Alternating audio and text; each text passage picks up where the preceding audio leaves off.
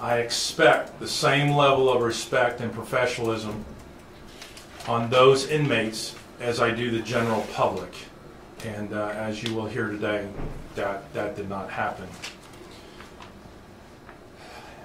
We do not uh, condone these type of actions that you're going to see. We actually condemn these type of actions. We do not train our deputies to respond this way. We train our deputies in alternative methods to prevent this type of response. And in short, we are going to share a video with you. In the video, you're going to see a detention deputy leave the pod that he was assigned into, go into a cell and remove an inmate. The inmate is handcuffed and then removed from the cell, brought between the cell and the pod, and thrown on the ground uh, in an unprovoked attack. Um, the result of that encounter is in the back back there on the board. Uh, that inmate uh, required uh, 20 stitches, 10 internal, 10 external. And as a result of those injuries this morning, 34-year-old Brian Casey Shackley was arrested. Shackley is uh, 34 years old. He joined the sheriff's office on April 2nd, 2007. He was promoted to a detention deputy on August 10th, 2009. And in 2017, he was promoted to sergeant. However, during his probationary status, he was demoted from sergeant to deputy sheriff for failure to meet probationary standards. As I mentioned this morning, we arrested him and charged him with felony battery for his inappropriate use of force during this incident, which happened on July 10th, 2022, just 11 days ago.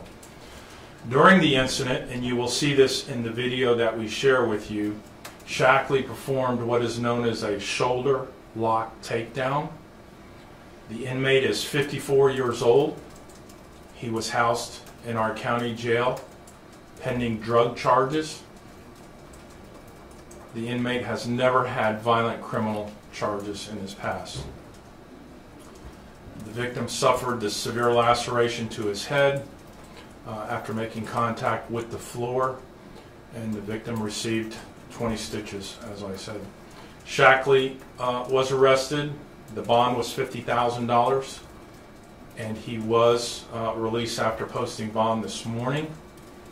Uh, a video of this incident will be shared with all of you. And um, as I said, as sheriff, as chief deputy, uh, these incidents just tear to the fiber of what we're about. This is not what we're about, and uh, we're here to answer any questions, but uh, Shackley will be suspended today, and of course, he'll have to go through the criminal justice system to, uh, to address these charges. Sheriff, you said it was an unprovoked attack. There had to be some reason for this, right? We haven't found a reason. What did Shackley say? Shackley's initial response was the guy, um, I think, dropped his weight down as in, a, in an effort to resist moving. But, but you, look at the video and, and make your own determination. I know our state attorney uh, reviewed the video and made the conclusion that this this was a criminal act. Were any words exchanged? Did he say anything to the inmate, or did the inmate say anything to him before he threw him to the floor? My understanding is this inmate wanted to be moved from a cell. Shackley didn't want that to happen. He wanted to be removed from the storm. And after going on and on about being removed, Shackley went in there, removed him, handcuffed him, and then this encounter happened. What should he have done? Well, I mean, they get training to handle inmates who may be um, upset or whatever. What should he have done? We do a thousand transports throughout the jail a day. Normally, they're handcuffed. If you suspect that an inmate is going to fight you or resist, you usually call another deputy, and that's handled that way. In this case, he approached the inmate by himself. He did handcuff him, but in no way should he have thrown him down on the ground in the manner he did. Is the prisoner in the hospital right now, or what's No, his no. condition? We have a medical wing at our jail. He was removed uh, from that encounter, taken to the medical wing where uh, medical attention was given to him, which included these 20 stitches. He is still in jail. Because of Marsy's Law, we're not going to share uh, the victim's name with you. But uh, 54 years old, uh, black male, and uh, the worst part about this whole thing, he was handcuffed in the back. I mean, uh, we, we do not see any threat whatsoever that he posed. Are you able to share why he's in jail? Drug charges? So not a violent crime. No, never been a violent criminal. How long had he been in there? Hmm, that's a good question. Hold on, I might be able to tell you that. Sheriff, I think it's April of this year. April this year, so we're going on three months. Did there appear to be anything that could have provoked this? You know, he just seems kind of unusual that. Of course. From our viewpoint, no. From the state attorney's viewpoint, no. Why didn't he want to move in uh, Shockley? Why didn't Shockley want to, want in? We never got to that. You mentioned that uh, he was demoted during his probationary status to deputy. Uh, wondering, like, if you could give us kind of more of his background, Correct. kind of whatever his actions were in the past. Uh, His um, captain at the time wrote up the reason for the demotion. I'm going to highlight the three reasons. Um, The first one was the captain had concerns about his interpersonal skills, his field performance, his investigative skills, his leadership, and his management skills. He also had a uh, incident where he inappropriately discussed some personal affairs with subordinate staff as a sergeant. So the captain, during the probation, felt that he had violated enough of our policies that he did not want him to continue as a sergeant at the Department of Detention. Was there a reason he was requesting a cell change? The prisoner? I don't think we've gotten into that yet, but, uh, do we know? Yeah. Go ahead, come on up. Chief Deputy knows. So the reason that the inmate had requested a cell change is because his toilet in that area did not work at the time. Um, and it actually was not working for whatever reason um, happened.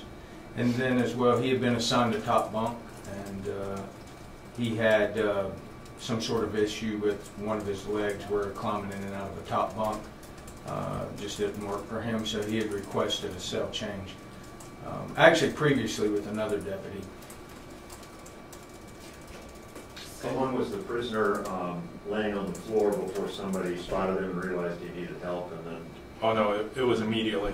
Soon, soon as he was heard on the floor, he was picked up and, and uh, taken, transported to medical. So Shock- Shockley did it? Shackley asked for backup, and the other deputies arrived, including the supervisor, made sure he, he immediately uh, was taken to our medical wing. I'm sorry, did you say what the charges were on, for Shackley? Or- Shackley is felony battery. Bond was fifty thousand dollars, and he did bond out of jail. And you said he's been suspended, not fired? He's been placed on, uh, so Deputy Shackley's been placed on administrative leave without pay, which is our policy uh, when one of our deputies is arrested. Um, And so it'll be given, his uh, administrative review with internal affairs will run concurrent with the the criminal case as well. What's the maximum sentence he could get if he's convicted? Hmm, I'm not, I'm not, I'm not sure on that. Felony battery? Felony battery, I. Probably five years. Did you say when he joined your office? Yes, I did. Oh, seven. Oh seven? Correct.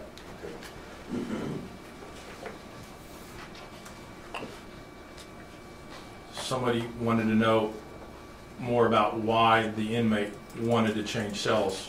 One was subjective, hey, I'm on the top bunk, I can't get up there. One was objective, the toilet isn't working anymore. Everyone could see that the inmate wasn't making that up, so this change of moving him should have been without question and without controversy and without violence, simple as that. Sheriff, you talked a little bit about how you're very proud of your deputies for their work every day and how uh, Deputy Shackley's actions are not representative of St. Lucie County. By all just means. briefly just get, get into that a little bit if you can? Well, the reason why I shared today's population with you is it's a daunting task working at the jail. You have uh, close to 1,200 inmates. Uh, they have to be fed. They have to be safe. We have to provide medical care, psychiatric care, dental care. These inmates are transported every day, every day by our deputies, and, and our deputies take great pride in taking care of inmates out there. Simple as that. Uh, their motto is protecting our community silently, and they do it silently. Um, they don't they don't ask for a lot, a lot. They do their job. They enjoy it. Many are career career correctional deputies, and uh, I just want uh, our public not to paint a brush on all of them because of what they see in this video.